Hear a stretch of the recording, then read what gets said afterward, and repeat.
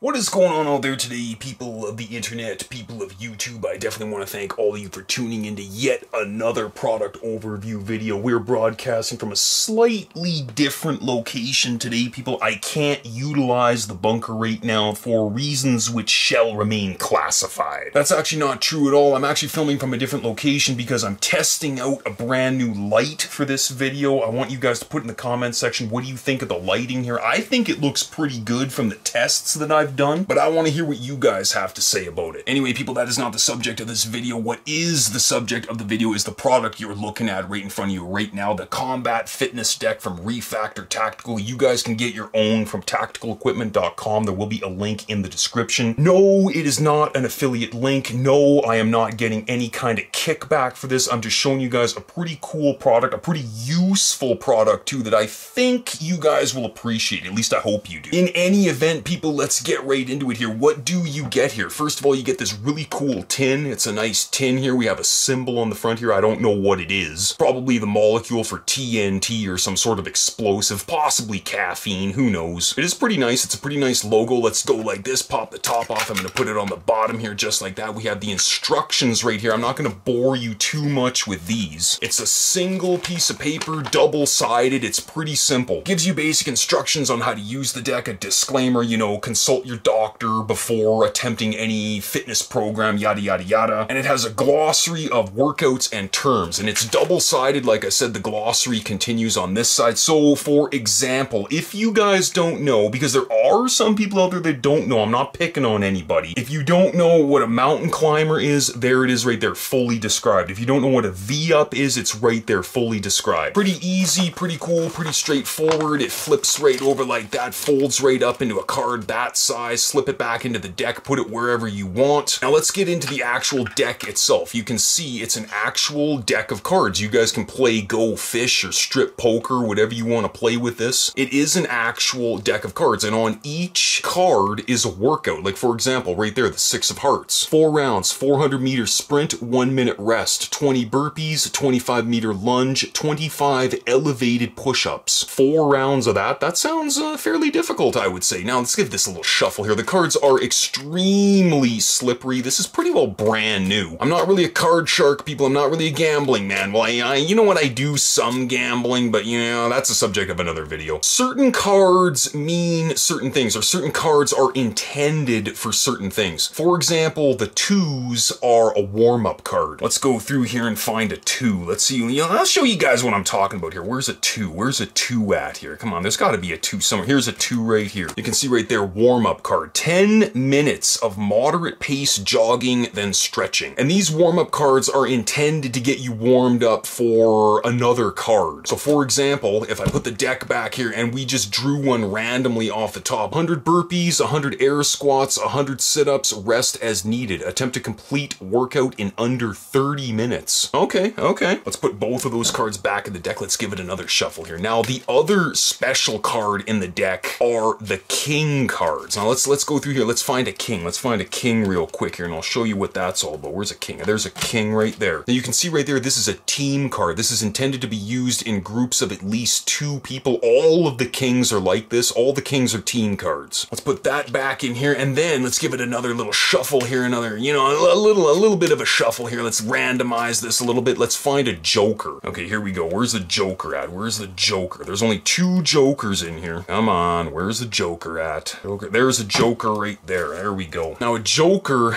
is an active recovery card. This is intended to be done on a day off or on a day of active recovery. A fairly easy workout. I mean, the half mile jog still sucks, but you gotta do it, people. Half mile jog, 25 meter lunges, 10 to 15 minutes of stretching, 25 meter lunges, half mile jog, 10 to 15 minutes of stretching. Let's shuffle this up here. The Joker is back in the deck there. Now, these do increase in difficulty the higher the number. So a three is going to be easier than a five. A five is going to be easier than a seven. A seven is going to be easier than a 10. The other two face cards, the jack and the queen and the aces are intended to be really difficult. Let's flip this over. Let's find, let's find a queen. Let's find a queen here. Here's a queen right here. Let's see what the queen's all about. I think there's actually a typo on this card. This is supposed to be toe to bar raises, not two to two bar raises. Now what I'm gonna do people is I'm gonna put the queen back in the deck here. I'm gonna go through here and let's find all of the threes. I'm looking for threes here. I'm gonna pull all the threes out of the deck. There's a three right there. There's another three right there. There's another three right there. Looking for the last three here. Where is it? Where are we at? Where are we at? Come on now. There it is right there. Now I've got all the threes out of the deck right there. We're gonna randomize the cards here. I've got my four-sided die right here. I'm gonna roll that, randomly select